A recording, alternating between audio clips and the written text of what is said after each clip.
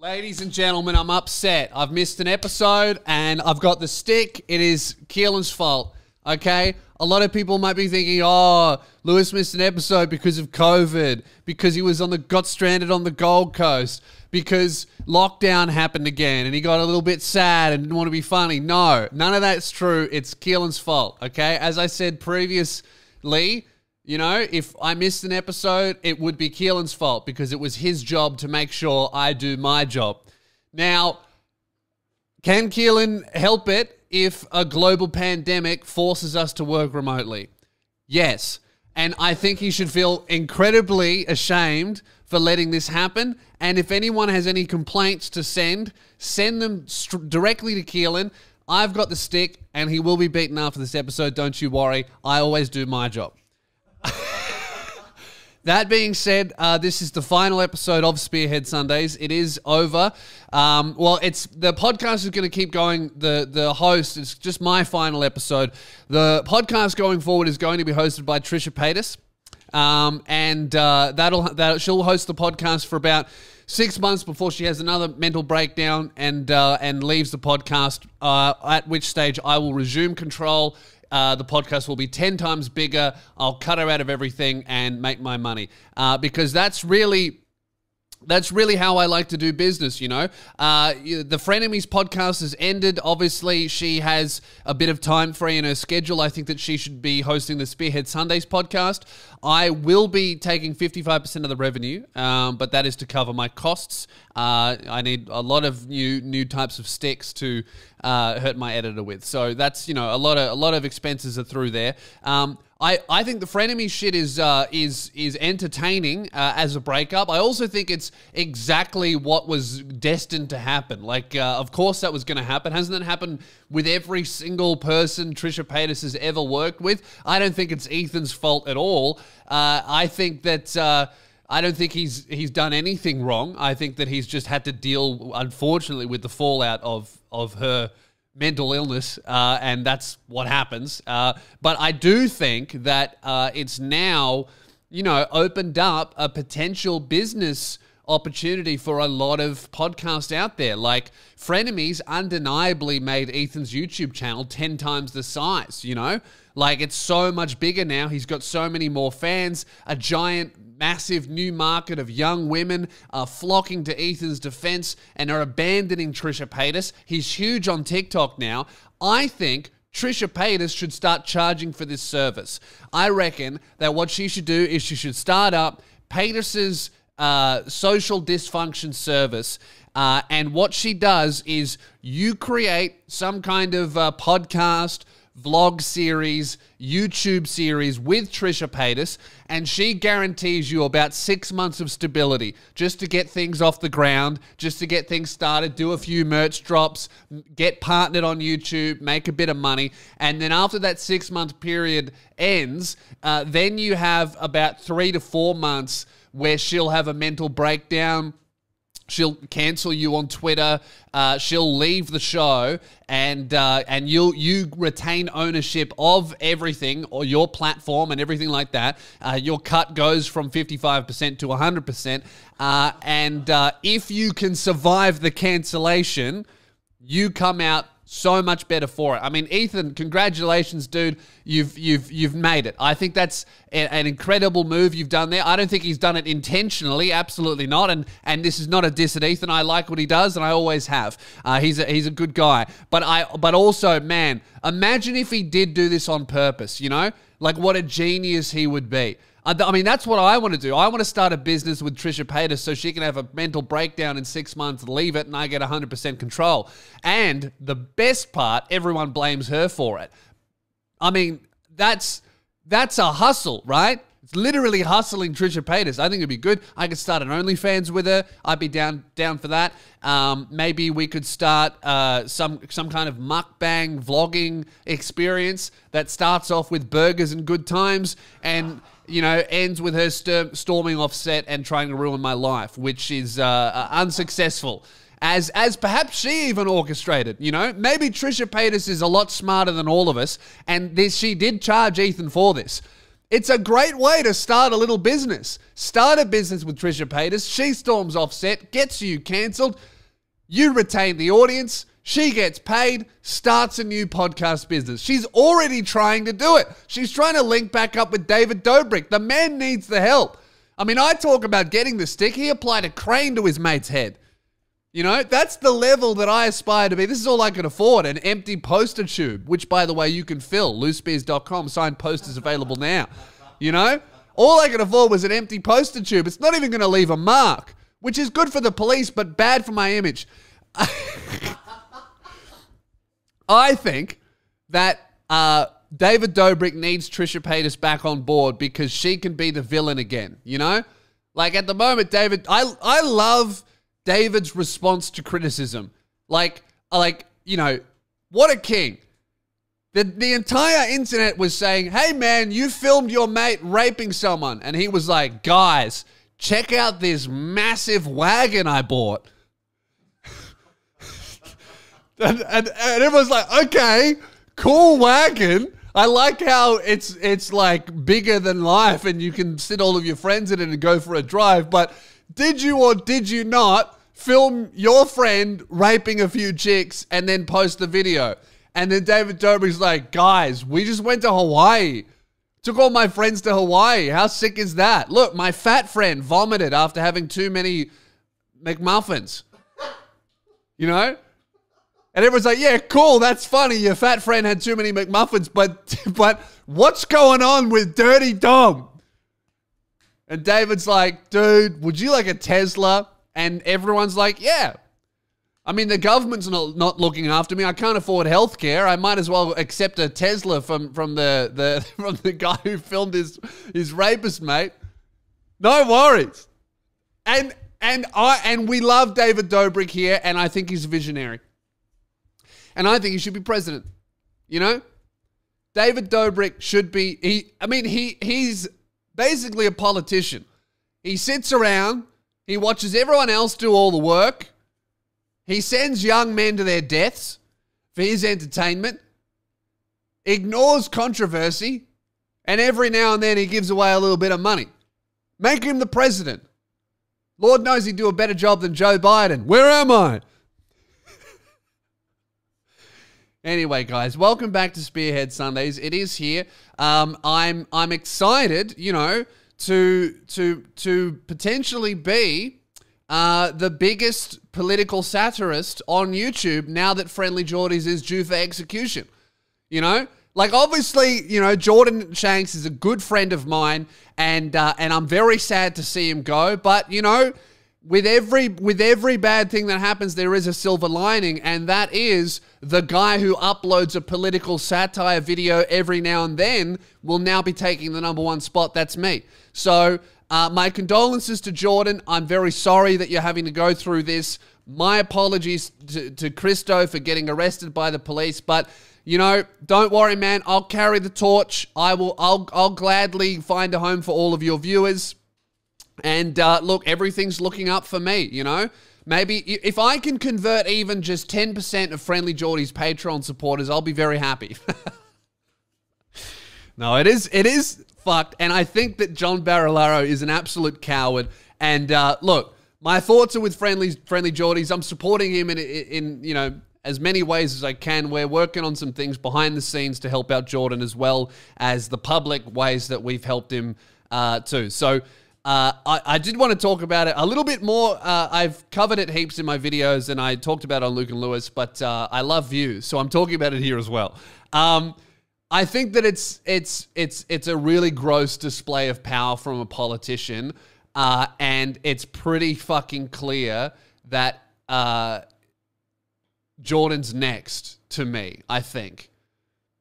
Do you know what I mean? Like I feel like I feel like that is the goal. I mean, even even Jordan's lawyer is talking about how oh we suspect there might be a warrant out for Jordan's arrest, and and uh, as speaking as someone who has been the scrutiny of police forces and task forces in the past uh, due to due to my less than public activities online. Uh, it's fucking scary and it's very stressful to feel like you're being hunted. So uh, my my thoughts and prayers out to Jordan. Um, those don't really do anything, so I've also put some money into the legal fund, and I encourage you encourage you guys to do so. Um, but uh, yeah, what else did I have here that I wanted to talk about? Um, what else did we want to talk about with this John Barilaro stuff?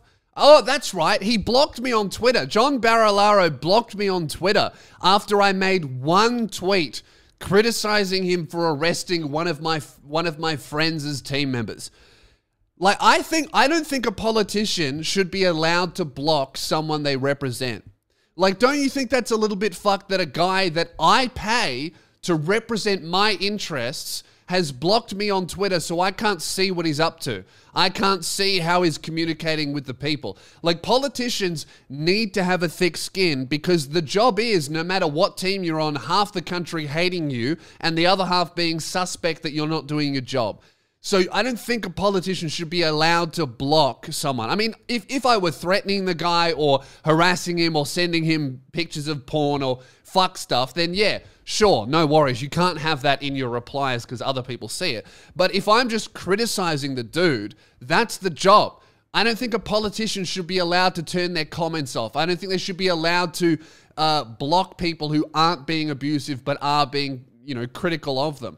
I don't think a politician should be able to silence the people they represent on social media because that's how we fucking communicate these days. That would be like a, a, a politician stopping me from seeing their press conference. That's what social media is for a politician. I need a laptop charger. My laptop's going to die. Did that contribute anything to the episode? Did that? No, we're gonna we're not, we're not we're gonna leave that in. You see, this is what I have to deal with, ladies and gentlemen. I ask a simple request from my employee to plug in the laptop so we can continue recording the episode, and he mimics me. And you wonder why I got the stick. Guys, support me on Patreon. I'll buy a longer stick so I can hit him from the chair. You know, a lot of uh, a lot of uh, Patreons uh, do do offer exclusive experiences and footage. Maybe that could be a reward. You get control of the stick for a day. And you don't have to do anything with it. You can just hold it. You know, it's your stick for the day. But if you wanted to use it, you know that's your right. New goal? yeah, I think so. Uh, oh, fuck. But yeah, so what I'm going to do is I'm going to submit a freedom of information uh, request to get John Barilaro to unblock me on Twitter because at the you know at the very least, while I can't really support Jordan from Melbourne, I can annoy the people who work for John at least a little bit, you know. And, you know, and, and that's that I feel is is every Australian's right. Like, and a lot of my fans have been banned on Twitter or blocked on Twitter and Facebook by John Barilaro. Hey, Submit a freedom of information request. It's really easy to do. It's like sending an email, and they legally have to, at the very least, respond to it. So, you know, if John Barilaro is going to block everyone, let's block him from using his admin team because they're swamped by freedom of information requests from guys like 420 Sniper 69. I want to see his tweets. Let me in. Fucking meatball. But yeah, I think um, you know what I'm really actually very disappointed by is not a single politician seems to have spoken about this at all. Like they've they're all ignoring it, which to me is is is like silent confirmation of what I thought, which is they would love to do this if they were dealing with it. You know? Like it it may just be uh coincidence that John is the one to do this to Jordan. It may be if if Jordan was fixated on a different sorry, I shouldn't say fixated when we're talking about the fixated persons unit. but if Jordan was focusing on criticizing a different liberal, liberal or national politician, because he probably wouldn't touch a Labor one, uh, would they maybe just do the same? Um, there is that like argument that Daniel Andrews had death threats and all sorts of things happen to him last year, and he never, he never. That's true. Yeah, Daniel Andrews dealt with way worse than uh, than Meatball. Like, uh, you know, Jordan, at, Jordan at, at times will make you know, pretty strong statements against someone and will satirize them and take the piss out of them and make them seem ludicrous. But it's nothing compared to like what I would assume is regular death threats that people like Daniel Andrews would get, uh, that you know that liberal politicians would get all the time as well. It's like, what? Why isn't the fixated persons unit doing shit like that? You know. And I got a lot of comments of. Uh, I posted a little sketch from my video of of me uh, falling over and hitting the woman and and killing the dog. Uh, because uh, if you haven't seen the video, basically, the fixated persons unit ripped Kristo out of his home, which is basically like Jordan's Keelan. It probably gets hit less. Um, uh, they ripped him out of his home, and uh, the the mother claims that the police officer uh, hit her and then almost killed her elderly dog. And then in the video, the officer's like, "No, I didn't. I tripped over. I tripped over." And basically, I was like, "How the fuck did you trip over?" And in the time, the space of time of you standing to you hitting the ground, you managed to hit a woman and almost kill a dog. I feel like that is very unlikely to happen in one motion if the guy truly was tripping over. Seems like it was a scuffle. The man used more force than necessary to me, right? Uh, and I got a bunch of comments from people going, oh, you know, where's the footage of this happening? It's like, well, the footage is uh, there of them running away from the cops and getting shut behind a door and a big scuffle happening. That the the period of time where the camera goes crazy to the the woman saying you've hit me is like 15 seconds. I don't know if you've ever fallen over, but it takes about two seconds. I'm six foot eight. For me, three seconds, right? It's a little bit longer. I've never fallen over and then had the time to check the time on the way down. Like 15 seconds from standing to hitting the floor? I don't think so. That's a fucking scuffle, right? Um, and also, isn't this police officer supposed to be uh, trained to take down terrorists that are about to kill politicians? Like, that's his job, is to find people who are planning on assassinating politicians and committing attacks of terror. If that can't can't arrest an internet nerd in front of his mum without falling over, should he have the job? You know? Like I think, you know, he didn't even manage to kill an elderly dog. Move him to a different task force. You know? Like I I'm almost as a taxpayer disappointed that he didn't kill the dog because that proves he's not even capable of it. You know? I think they should have driven a, a, a SWAT van through the fucking house and demolished the entire thing. Isn't that what I'm paying for? It's the fixated persons unit. Why is Kristo still alive? I don't think they're even capable of doing their jobs. What, a bit much? I'm just saying, if you're going to use the fixated persons unit, use them properly. You know, like you what? You can't even arrest an internet nerd in front of their mum without tripping over yourself, you fat fuck. Hit the gym, bro. Join a martial arts class. I don't think you're cut out for the job. Do you know what your son did? He harassed a politician at a funeral. Okay. Even if he did, which he didn't, right? He was do- he was committing acts of journalism in a public area. But even if the dude yelled at a politician at a funeral, does that justify the fixated persons unit getting involved? Absolutely not. If he was threatening to hurt him, if he was threatening to kill him, if he was, you know, threatening and you found evidence of him committing, you know, planning an action that would result in violence, fuck yeah, throw that cunt in prison. We don't need that shit. But he wasn't. He was criticizing the guy publicly based on the politician's public actions and things that were in the news, like the lawsuit. Fucking insane. But that's the level of commitment I expect from you, Keelan, is that if I say something, right, especially if it's false and defamatory, and I get sued, I expect you to do something that gets you in prison. I need a few pay days off. well, you're not getting paid. Unless, unless you know, we can get a laptop in there, you can do some editing. then you'll get just over whatever the prison pays for their labor. It'd be like 50 cents an hour.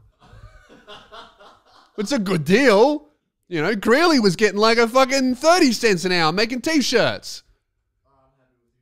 50 cents. That's a bargain. We might, we might have to, we might have to, we might have to dig under the prison to get an Ethernet cable in in your cell, run it through the toilet. But you know, we can make it work. So yeah, I, I, I in all seriousness, I think that uh, what John Barilaro has, has done is one of the most blatant um, displays of uh, of an overreaction from a politician and like swinging power that they should only ever be used as like a last resort. Like you're like let's the fixated persons unit is an anti-terror squad, so that should be a last resort situation. Like we are absolutely sure that this guy is going to harm a politician or the public in a big way. We need to move on them.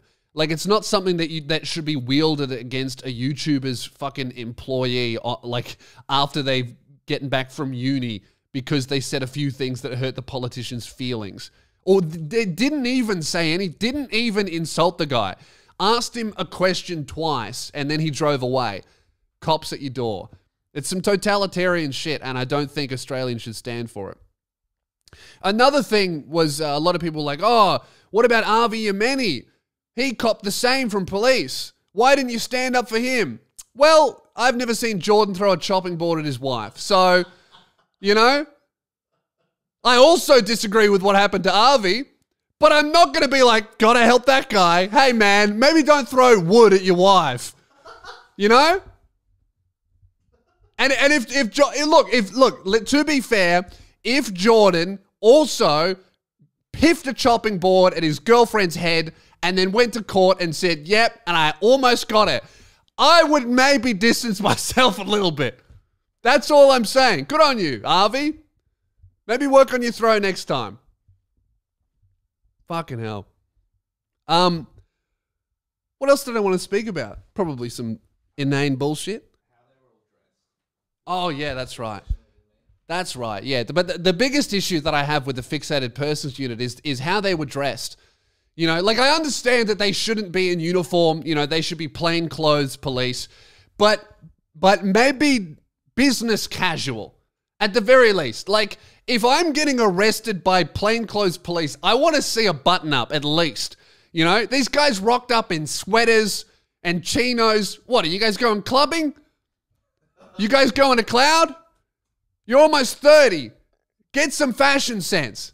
Dress well. Keelan dresses better when he comes to work than these people did when they were arresting someone. And this cunt sometimes doesn't show up with shoes.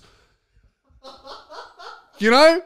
Sometimes he'll rock up barefoot and I'll be like, well, you know, whatever. At least he's not arresting me. How are you going to kill a dog in, when you're not in a button up? That's what I think.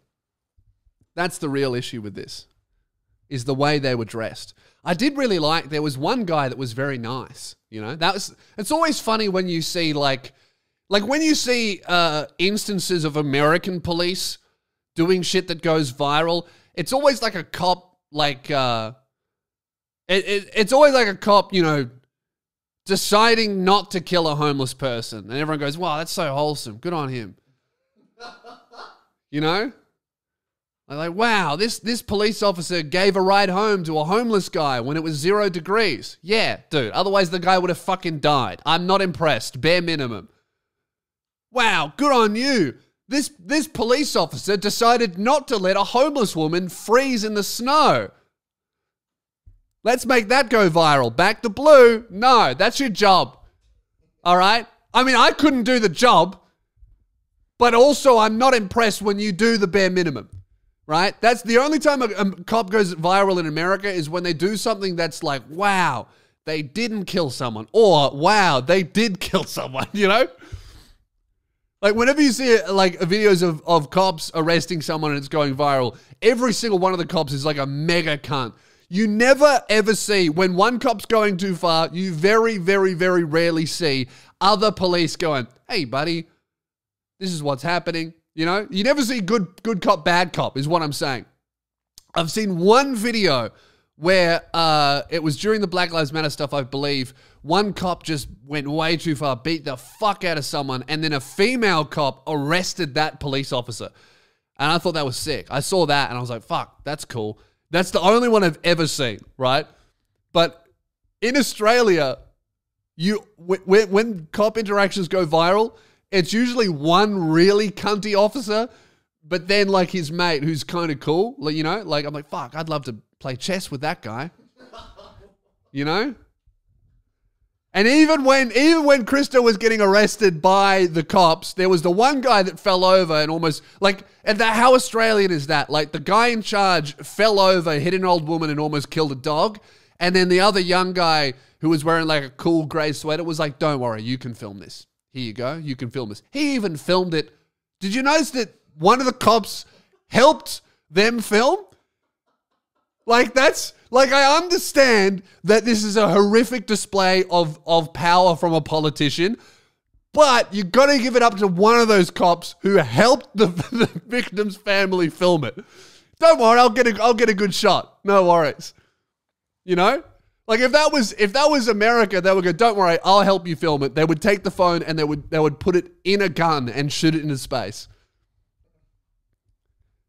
Like American cops wear body cams to film everything, and the only thing they do with them is turn them off. Oh, it malfunctioned, and the last thing you see is them flipping it upside down. Is it still filming? And then that's it. And then in the background, you just hear ah. you know.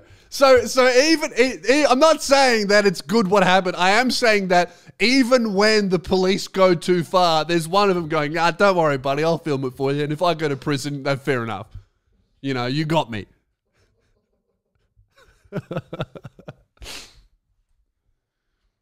oh fuck. What else do I want to talk about here? Um, oh, so uh, ScoMo met the Queen. You know, thanks, man. Fuck, I was really, I was really worried about you know COVID and the country and and and you know are there going to be more bushfires or have they solved that problem before summer comes along? And uh, you know uh, are they building a quarantine facility and what's going on with our borders? And are we going to have the vaccine that doesn't make your brain explode uh, and make you grow a dick you know and it's good to see that Scott Morrison, the leader of our country, is is is prioritizing very important things like meeting the oldest bitch on the planet. You know, the the woman who who hasn't done anything for her own country for about fifty years. You know, the the the widow of of the racist guy who helped me sell a bunch of tickets. It's really good that he's doing important things like. I mean, should ScoMo even should anyone be meeting the Queen when there's COVID? I feel like I could go and she'd die. If I went and I had COVID, it'd be over. But apparently, there's a video that Keelan wants me to watch that I've not seen. Okay. All right, let's have a look at this. This is Scott Morrison meeting the Queen.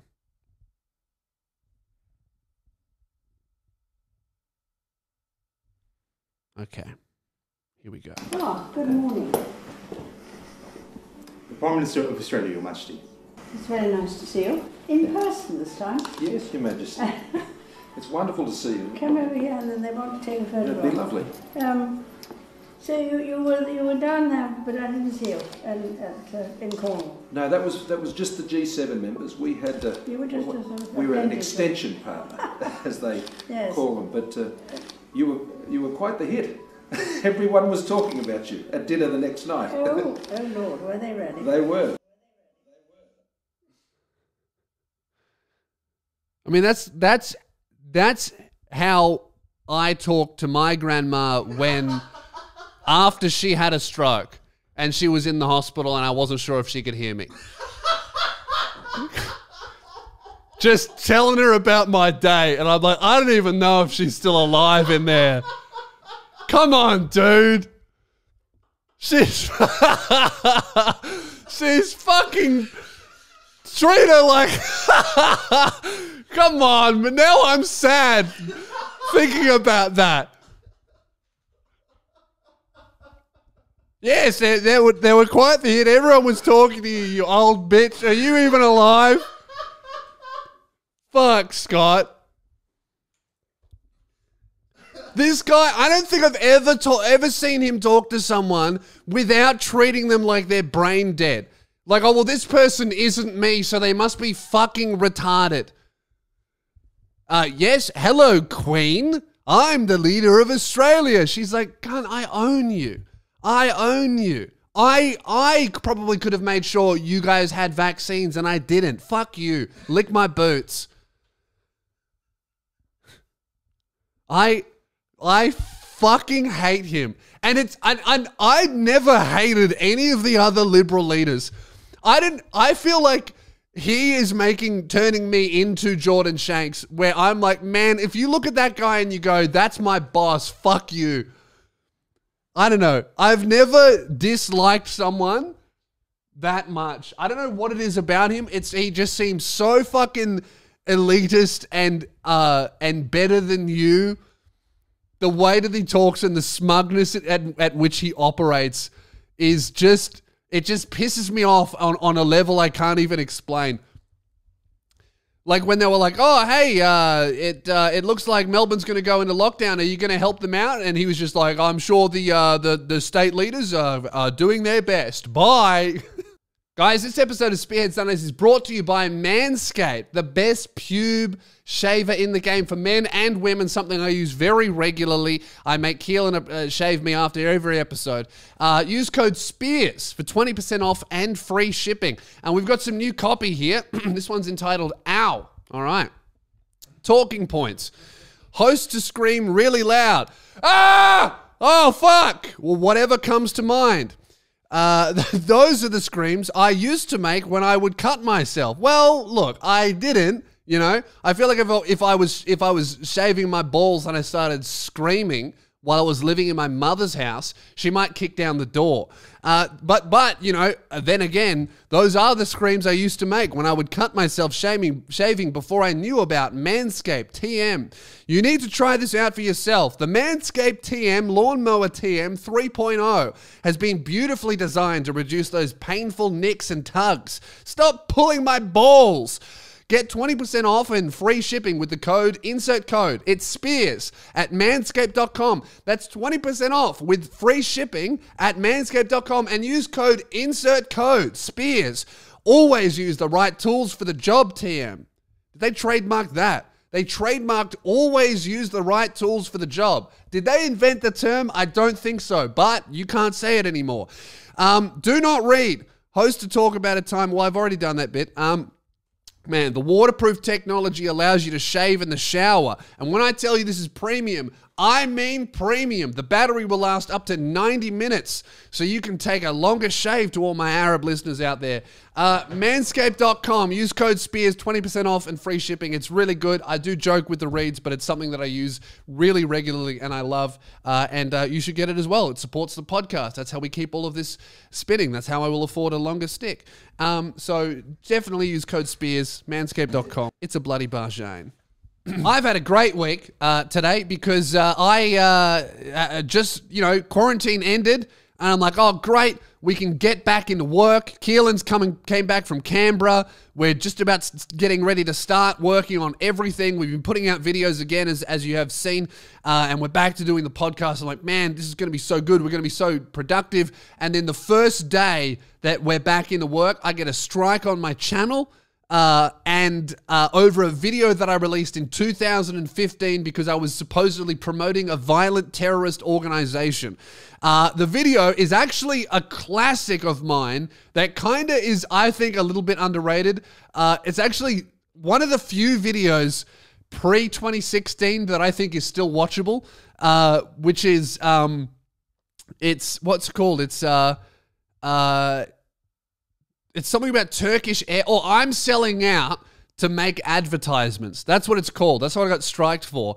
Uh, and it's it's this hilarious video where I get approached by an airline to make an advertisement for them that they will then maybe pay me for. So I just decided to fuck with them. They're not going to definitely pay me, so I'm going to fuck with them. And I decided to make these. I make these series of like terrible advertisements for them, and then send them to the guy for review. And he treats me seriously the entire time. Keeps telling me to remake them, and every time I remake them, they get worse and worse and worse and more fucked. For whatever reason, it got copyright struck. Uh, I think perhaps because of the 9 11 footage I included in But I said that Turkish Airlines didn't. Uh, 9 11 didn't happen with Turkish Airlines. I said it like it was a good thing. I didn't say that 9 11 was a good thing. Um, you know, what, what, who am I? Bin Laden?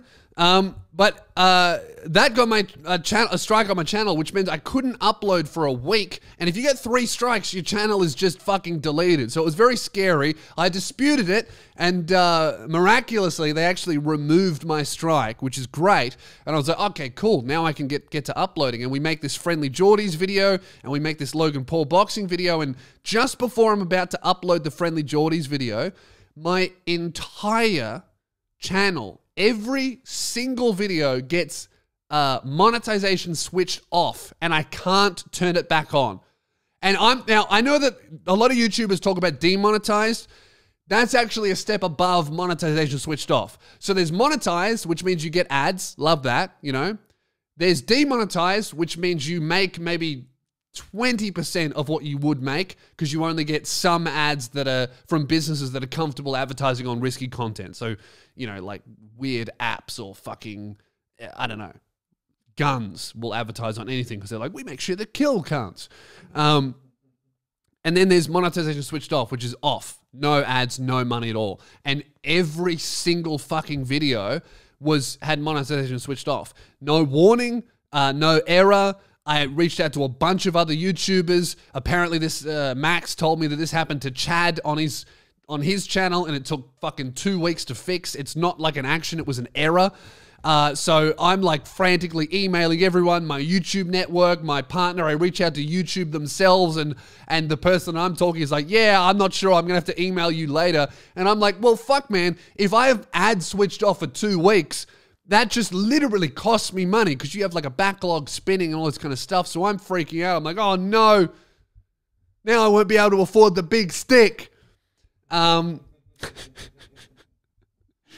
uh, but then I checked today and they're all on again. And I've had no confirmation saying that we fixed it, no reason why it happened initially. Just like the most terrifying thing to happen to a YouTuber next to getting their whole channel deleted is just having everything switched off because you know if everything's off you're not making money. Like you can see on my stats the mon- if you look at the monetization tab it's like pretty steady and then it just dips down to fucking zero and it's like zero for days and then it's back up. I don't know.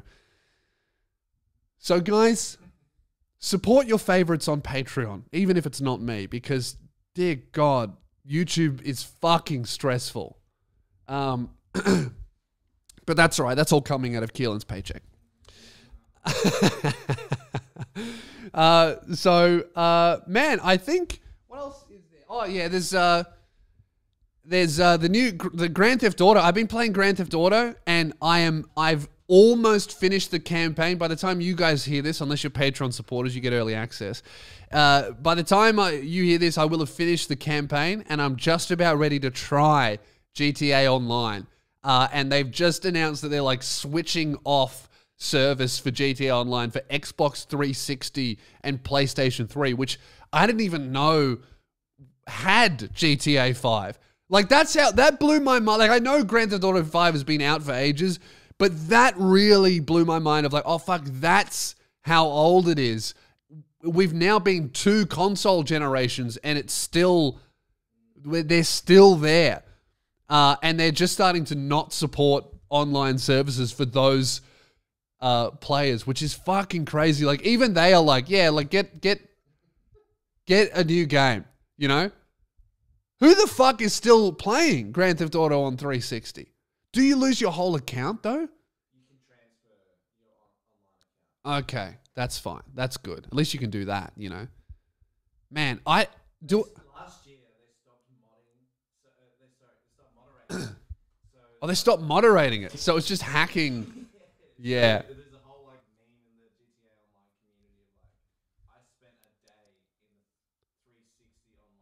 Oh yeah. Yeah, it'd be chaos. there is there is something magical about being fucking toxic in video games. like there's just something spe- it's one of my favorite things to do.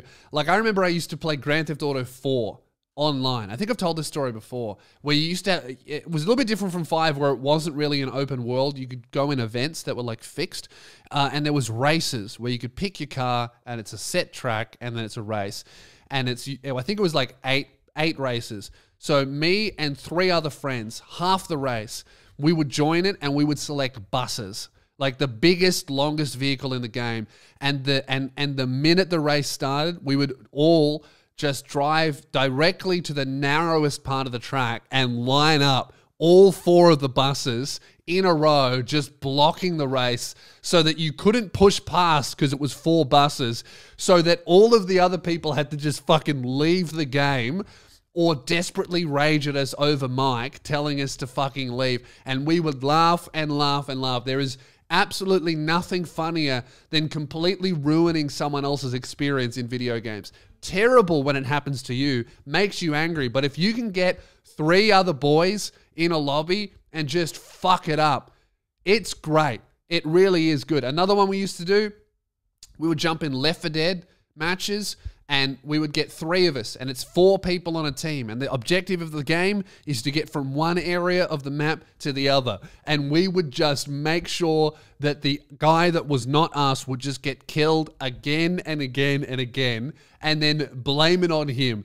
And they would get so fucking angry, but we would pretend that we were not friends. So we would just gaslight the fuck out of this poor stranger and go, Have you ever played with this guy? I'm like, No, I've never played with this guy. Who is he? Do you know him? Is this your friend? He goes, No, I, this is just a random lobby. And, and then all three of us would just gang up on this poor innocent soul, just trying to have a great time. And they would end up just going insane. Uh, and and it's a really good way to, to make a, a stranger just trying to cool off and enjoy their day off and their leisure time have a complete ma- mental breakdown uh, over the internet. It's a really good time. What else did we do? Oh yeah, I did this recently. We we joined a, a Team Fortress Two match. You get five of us. Uh, there's eight teams, eight players aside, and every new person that would join, you just vote, kick them, and and they would go, "What have I done wrong?" And then you would blame them uh, for doing something that you can't even do in the game, and then they would go, "What?" And then all of your friends who are pretending not to be friends would then go, "Oh my god, I saw him do it," and then everyone just votes and kicks him out. And it's the funniest thing you've ever seen when you hear one guy, when he sees the confirmation that every single person on his team has voted to kick him for something that he did not do. The funniest shit ever is hear him going, You motherfucker! and then you read, This person has been kicked from the game. And that, guys, is, is I could do like a series, a whole limited podcast series on how toxic I have been and continue to be in video games. It's one of my favorite activities, and that's what I'm going to leave you with today is organize a few of the boys or a few of the girls and just go out there and ruin someone's experience online. You won't regret it. It's a lot of fun and you don't need to be abusive. That's the funniest bit is never actually be rude.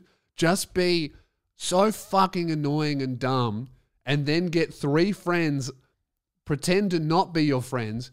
You say something so fucking stupid and then they all agree with you and act like the other guy's the idiot. It is the funniest thing ever watching a sane person go, What is happening? And that's where I'm going to leave it, guys. Thank you very much. That's Spearhead Sundays. I'm going to continue on a little bit for the uh, the Patreon supporters. If you want uh, the Sunday supplement, the Patreon exclusive uh, podcast that is up right now. Uh, you can check it out in the link in the description and the top comment if you're watching on YouTube. Uh, and uh, I've got my tour just about locked in. It's going to go on sale in the next couple of weeks. So keep an eye out. Everyone outside of Melbourne, within Australia, I'm going everywhere. We've got like 14, 15 shows booked. It's going to be fucking sick. Biggest tour I've ever done and I can't wait to see you there. Um, also, send me some emails. I'm out of emails from Miscellaneous End. Podcast at lewspears.com if you need some life advice. message me. Or, fuck, if you got a story of how you were toxic in video games, I'd love to read it. All right. That's the end of the episode. Thank you. Fuck you. Uh, and uh, next episode, you'll be uh, will be hosted by Trisha Paytas. Goodbye. Have a shit one. Buy my shit, buy my shirts, buy my merchant, no one gets hurt. Buy my shit, buy my shirts, buy my merchant, no one gets hurt. Buy my shit, buy my shirts, buy my merchant, no one gets hurt. Buy my shit, buy my shirts, buy my merchant, no one gets hurt.